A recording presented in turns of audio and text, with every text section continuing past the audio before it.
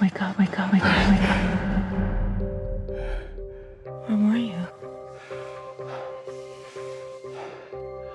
Oh, Jean, I'm so sorry. I'll never hurt you or anyone ever again. It's too late. No! You can't hide.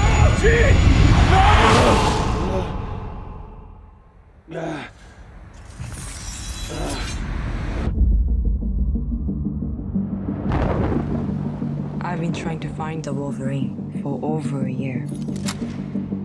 It's not who I am anymore.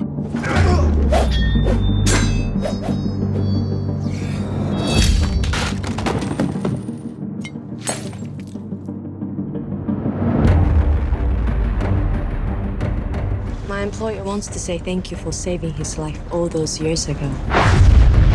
That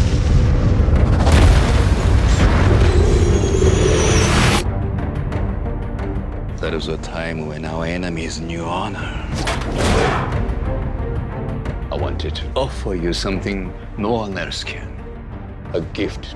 You have struggled long enough. I can end your eternity. Make you mortal.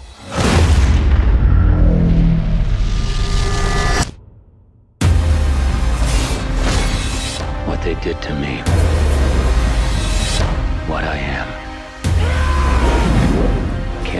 Can't be undone. Don't be so sure.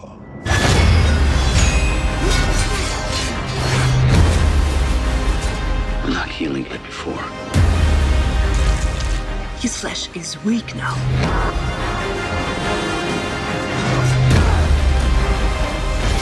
Eternity can be a curse. A man can run out of things to live for.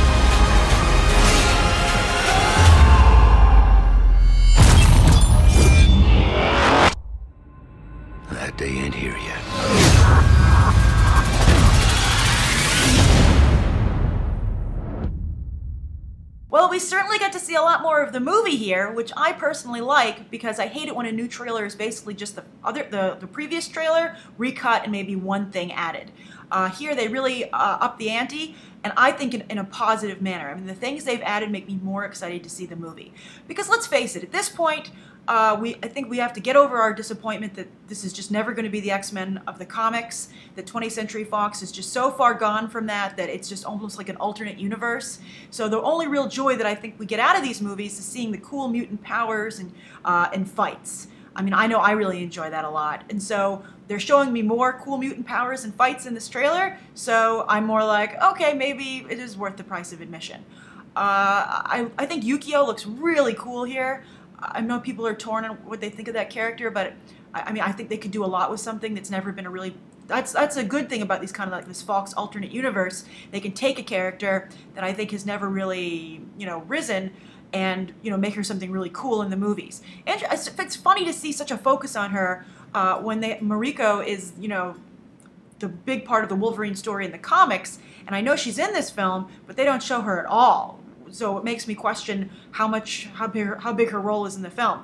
That said, I think comic book movie trailers are getting really good at hiding twists and hiding uh, plot points more so than ever before. I think sometimes it backfires, like it did with Iron Man 3. I think Marvel set people up for a specific film and they didn't give it to them. So I think maybe that's what's responsible for so much anger towards the film. But that said, I don't really know if the Wolverine producers are sophisticated enough to kind of do that kind of switcheroo on us. We'll see. We'll see. Uh, Hugh Jackman, I think, is only a medium Wolverine. He, he doesn't have the scrappiness of, of Wolverine. I mean, I don't even see him doing some of the, some of the fight moves. I think here seem too choreographed. I don't see the Berserker Rage, which Wolverine is famous for. Uh, he has more of a street style fighting, and I think Hugh Jackman in some of these scenes has a little bit too much finesse.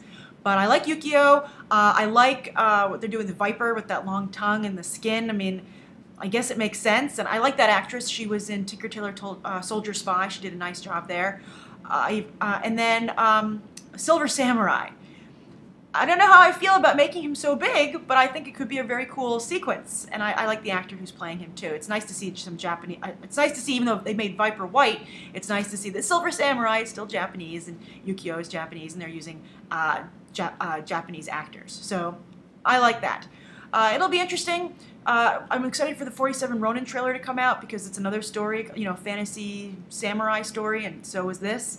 So uh, it'll be it, who gets the flavor right, you know, this sci-fi samurai, or or at least you know, comic book samurai. But what do you think of this new Wolverine trailer? Is it making you want to see the movie anymore, or you know, you know, you don't care how much glitter Fox uh, throws on this? It's not Wolverine. Write your thoughts down below, and also what do you think of the fact that you know comic books are getting comic book movies are getting so good at hiding twists? Do you think it's too much of a roll of the dice, and do you agree that it backfired for Iron Man three? If you'd maybe known a little bit, you could maybe seen the twist coming more, if Mandarin hadn't been built up so much, do you think maybe you would have been more accepting of it? So write your thoughts down below. Thank you for coming to Beyond the Trailer for the latest trailers and these quick snapshot reviews. Thanks for watching.